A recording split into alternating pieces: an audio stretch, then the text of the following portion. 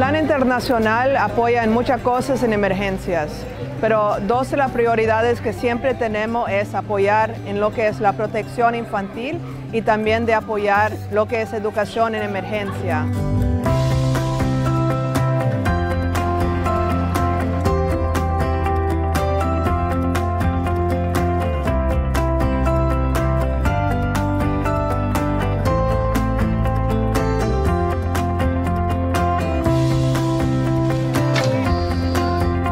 Estas carpas también son muy especiales en el sentido que son para situaciones de emergencia humanitarias.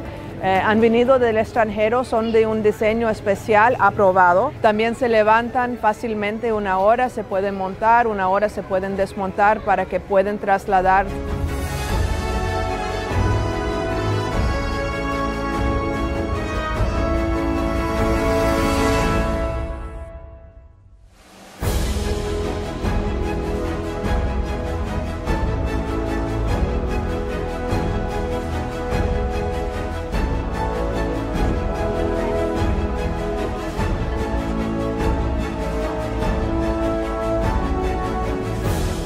hicieron la carpa móvil para no perder nuestra clase. Y gracias a Plan podemos retomar el año en las aulas móviles. Me parece una magnífica oportunidad ¿verdad? por brindarle este espacio a los niños.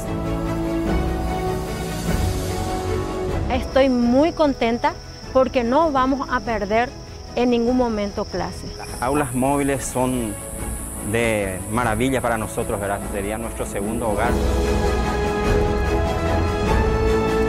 Es apenas una parte de un apoyo mucho más amplio, mucho más grande, eh, que trata de que estos chicos y chicas que ya son afectados en su vida normal no pierden también su educación. El trabajo de la Secretaría de Emergencia Nacional en coordinación con el Ministerio de Educación y Cultura y Plan Internacional ha permitido brindar seguridad emocional y psicológica a miles de niños y niñas, dado que ya en su día a día estaban afectados. Pero lo mejor de todo esto ha sido asegurar la continuidad de los procesos de aprendizaje durante todo el periodo de emergencias que afectó a nuestro país. Grandes brazos operativos son la Secretaría de Emergencia Nacional y obviamente Plan, que tiene la posibilidad de ayudarnos a responder a la velocidad y con la necesidad en el terreno, concreto, directo y puntual.